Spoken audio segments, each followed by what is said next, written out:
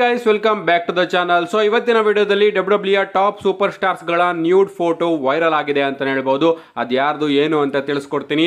ಹಾಗೆ Austin Theory ಅವರು John Cena ಅವರಿಗೆ ವಾರ್ನಿಂಗ್ನ ಕೊಟ್ಟಿದ್ದಾರೆ. ಸೊ ಅದೇನು ಅಂತ ತಿಳಿಸ್ಕೊಡ್ತೀನಿ. ಸ್ಮ್ಯಾಕ್ ಡೌನ್ ರೇಟಿಂಗ್ಸ್ ಕೂಡ ಬಿಡುಗಡೆ ಆಗಿದೆ. ಇನ್ನು ಕೆಲವೊಂದಷ್ಟು ಇಂಪಾರ್ಟೆಂಟ್ ಅಪ್ಡೇಟ್ಗಳಿವೆ ವಿಡಿಯೋ ತುಂಬಾ ಇಂಟ್ರೆಸ್ಟಿಂಗ್ ಆಗಿರುತ್ತೆ. ಬನ್ನಿ ವಿಡಿಯೋನ ಶುರು ಮಾಡೋಣ. ಮೊದಲನೇದಾಗಿ ಬ್ರೇವ್ ವೈಟ್ ಅವರ ಬಗ್ಗೆ ಮಾತಾಡೋದಾದ್ರೆ ನಿಮ್ಮೆಲ್ಲರಿಗೂ ಕೂಡ ಗೊತ್ತಾ ಇರಬಹುದು ಬ್ರೇವ್ ವೈಟ್ ಹಾಗೆ ಡಬ್ಲ್ಯೂ ಡಬ್ಲ್ಯೂ ನಡುವೆ ಯಾವ ರೀತಿ ಸಿಚುಯೇಷನ್ಸ್ ನಮಗೆ ನೋಡೋದಕ್ಕೆ ಸಿಗ್ತಾ ಇದೆ ಅಂತ ಅಂಡ್ ರೀಸೆಂಟ್ ಆಗಿ ಬ್ರೇವ್ ಆಯಟ್ ಅವರ ಸ್ಟೋರಿ ಲೈನ್ ಅಲ್ಲಿ ವರ್ಕ್ ಮಾಡ್ತಿದ್ದಂತಹ ಒಬ್ಬ ವ್ಯಕ್ತಿನ ಡಬ್ಲ್ಯೂ ಡಬ್ಲ್ಯೂ ಫೈರ್ಡ್ ಮಾಡಿದೆ ಅಂತ ಹೇಳ್ಬಹುದು ಎಸ್, ನಮ್ಮ ಬ್ರೇವ್ ಆಯಟ್ ಅವರ ಕ್ರಿಯೇಟಿವ್ ಥಿಂಗ್ಸ್ಗಳಲ್ಲಿ ವರ್ಕ್ ಮಾಡ್ತಿದ್ದಂತಹ ರೈಟರ್ನ ಡಬ್ಲ್ಯೂ ಡಬ್ಲ್ಯೂ ಫೈರ್ಡ್ ಮಾಡಿದೆ. ಅಂಡ್ ಇದರಿಂದ ಸಖತ್ತು ರೂಮರ್ಸ್ಗಳು ಬರ್ತಾ ಇದೆ. ಹಿಂಗೆ ಆದ್ರೆ ನಮಗೆ ಬ್ರೇವ್ ಆಯಟ್ ಅವರು ಕೂಡ ಮತ್ತೊಮ್ಮೆ ಕಂಪ್ನಿಯಿಂದ ಫೈರ್ಡ್ ಆಗೋದು ನೋಡೋದಕ್ಕೆ ಸಿಗುತ್ತೆ ಅಂತ. ನನಗಂತೂ ಏನು ಅರ್ಥ ಆಯ್ತಿಲ್ಲ. ನಮ್ಮ ಬ್ರೇವ್ ಅವರು ಯಾಕೆ ಡಬ್ಲ್ಯೂ ಡಬ್ಲ್ಯೂ ಶೋಗಳಿಗೆ ಅಟೆಂಡ್ ಆಗ್ತಾ ಇಲ್ಲ ಅಂತ ನಿಜವಾಗ್ಲೂ ಕೂಡ ಚಿಕ್ಕ ಇಂಟ್ ಕೂಡ ಕೊಟ್ಟಿಲ್ಲ. ಬಟ್ ಇದೇ ರೀತಿ ನಮ್ಮ ಬ್ರೇವ್ ವೈಟ್ ಅವರು ಏನಾದರೂ ಡಬ್ಲ್ಯೂ ಡಬ್ಲ್ಯೂ ಇಂದ ವಾಕ್ಔಟ್ ಮಾಡಿದ್ರೆ ಹಂಡ್ರೆಡ್ ಪರ್ಸೆಂಟ್ ಅವರು ಡಬ್ಲ್ಯೂ ಡಬ್ಲ್ಯೂ ಇಂದ ಫೈರ್ಡ್ ಆಗುವಂತ ಎಲ್ಲಾ ಚಾನ್ಸಸ್ಗಳು ಕೂಡ ಕಾಣಿಸ್ತಾ ಇದೆ. ಅಂಡ್ ರೀಸೆಂಟ್ ಆಗಿ ನಮ್ಮ ಬ್ರೇ ವೈಟ್ ಅವರ ಸ್ಟೋರಿ ಲೈನ್ ಅಲ್ಲಿ ವರ್ಕ್ ಮಾಡ್ತಿದ್ದಂತಹ ಒಬ್ಬ ರೈಟರ್ನ ಡಬ್ಲ್ಯೂ ಡಬ್ಲ್ಯೂ ಫೈರ್ಡ್ ಮಾಡಿದೆ ಅಂತ ಹೇಳ್ಬಹುದು ನೀವೇನಂತರ ಇದ್ರ ಬಗ್ಗೆ ಕಮೆಂಟ್ ಮಾಡಿ. ನೆಕ್ಸ್ಟ್ ಅಪ್ಡೇಟ್ ಕಡೆ ಬರೋದಾದ್ರೆ ಸ್ಮ್ಯಾಕ್ ಡೌನ್ ವ್ಯೂವರ್ಶಿಪ್ ಬಿಡುಗಡೆ ಆಗಿದೆ ಅಂತ ಹೇಳ್ಬಹುದು ಎಸ್ ನಾವು ಕಳೆದ ವಾರದ ಸ್ಮ್ಯಾಕ್ ಡೌನ್ ನೋಡೋದಾದ್ರೆ ಆ ವಾರ ನಮಗೆ ಜೇ ಉಸೋ ಅವರು ಹೊಸದಾಗಿ ಮತ್ತೊಮ್ಮೆ ಬ್ಲಡ್ ಲೈನ್ಗೆ ಜಾಯ್ನ್ ಆಗಿದ್ರು ಅಂಡ್ ಅವರು ಒಂದು ಪ್ರೋಮನ ಕೂಡ ಕಟ್ ಮಾಡಿದ್ರು. And fatal four way match ಕೂಡ ನೋಡೋದಕ್ಕೆ ಸಿಕ್ಕಿತ್ತು. ಅಂಡ್ ಒಂಥರ ಡೀಸೆಂಟ್ ಸ್ಮ್ಯಾಕ್ ಡೌನ್ ಅಂತ ಹೇಳ್ಬಹುದು ಅಂಡ್ ಆ ವಾರದ SmackDown viewership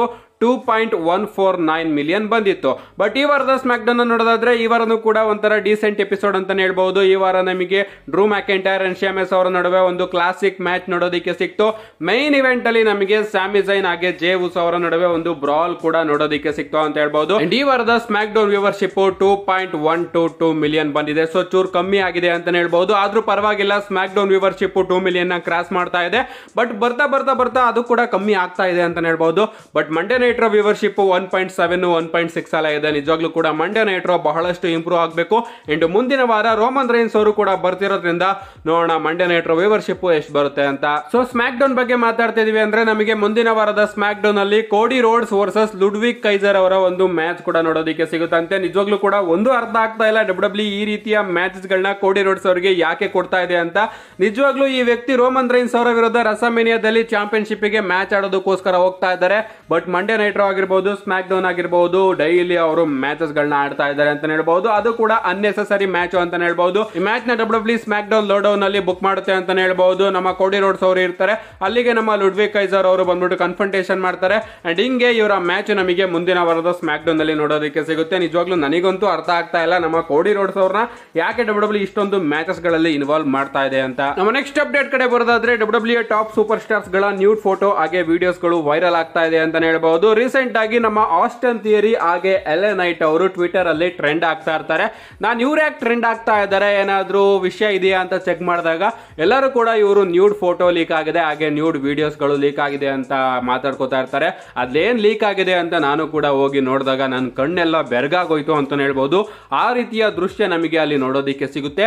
ನಮ್ಮ ಎಲೆನೈಟ್ ಅವರ ಒಂದು ಫೋಟೋ ಲೀಕ್ ಆಗಿದೆ ಬಟ್ ನಮ್ಮ ಆಸ್ಟನ್ ಥಿಯರಿ ಅವರ ಒಂದು ವಿಡಿಯೋನೇ ಲೀಕ್ ಆಗಿದೆ ಅಂತ ಹೇಳ್ಬೋದು. ನಿಜವಾಗ್ಲೂ ಕೂಡ ಏನಕ್ಕೆ ಈ ಥರ ಲೀಕ್ಸ್ಗಳಾಗುತ್ತೆ ಅಂತ ನಿಜವಾಗ್ಲೂ ನನಗೂ ಇಂತೂ ಇನ್ನೂ ಅರ್ಥ ಆಗ್ತಿಲ್ಲ. ಇವರೇ ಲೀಕ್ಸ್ ಅಂತೂ ಖಂಡಿತವಾಗ್ಲೂ ಮಾಡಿರೋದಕ್ಕೆ ಸಾಧ್ಯ ಇಲ್ಲ. ಬೇರೆಯವರು ಲೀಕ್ ಮಾಡಿರ್ತಾರೆ ಅಂತ ಅನ್ಕೋತೀನಿ. ಈ ರೀತಿ ಲೀಕ್ ಮಾಡೋದ್ರಿಂದ ಅವ್ರಿಗೆ ಏನು ಸಿಗುತ್ತೋ ನನಗಂತೂ ಅರ್ಥ ಆಗ್ತಾ ಇಲ್ಲ. ಬಟ್ ನಮ್ಮ ಸೂಪರ್ ಸ್ಟಾರ್ಸ್ಗಳಿಗೆ ಯಾವುದೇ ರೀತಿಯ ಪ್ರಾಬ್ಲಮ್ಸ್ ಇದರಲ್ಲಿ. ಆಗ ಇದರಿಂದ ಆಗೋದಿಲ್ಲ ಅಂತ ಹೇಳ್ಬೋದು. ಆ್ಯಂಡ್ ರೀಸೆಂಟಾಗಿ ನಮ್ಮ ಎಲೆನೈಟ್ ಆಗಿ ಆಸ್ಟನ್ ಥಿಯರಿ ಅವರ ನ್ಯೂಡ್ ವಿಡಿಯೋಸ್ ಆಗಿರ್ಬೋದು ಅಥವಾ ಫೋಟೋಸ್ಗಳಾಗಿರ್ಬೋದು ಲೀಕ್ ಆಗಿದೆ ಅಂತ ಹೇಳ್ಬೋದು.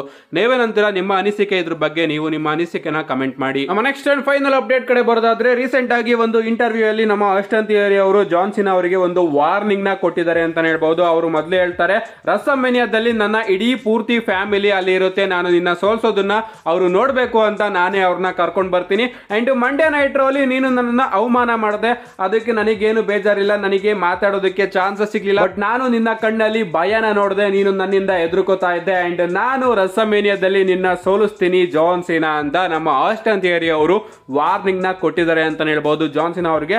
ನಿಜವಾಗ್ಲೂ ಕೂಡ ಇಲ್ಲಿ ನಮ್ಮ ಆಸ್ಟನ್ ಥಿಯರಿ ಅವರೇ ಗೆಲ್ಲೋ ಚಾನ್ಸಸ್ಗಳು ಜಾಸ್ತಿ ಇದೆ ಅಂತಾನೆ ಹೇಳ್ಬಹುದು ನೀವೇನಂತೀರಾ ರಸಮನೆಯಲ್ಲಿ ಯಾರು ಗೆಲ್ತಾರೆ ನಿಮ್ಮ ಅಭಿಪ್ರಾಯನ ತಿಳಿಸಿ. ವಿಡಿಯೋ ಇಷ್ಟ ಆಗಿದ್ರೆ ಒಂದು ಲೈಕ್ ಮಾಡಿ ಚಾನಲ್ನ ಸಬ್ಸ್ಕ್ರೈಬ್ ಮಾಡ್ಕೊಳ್ಳಿ. See you guys in my next video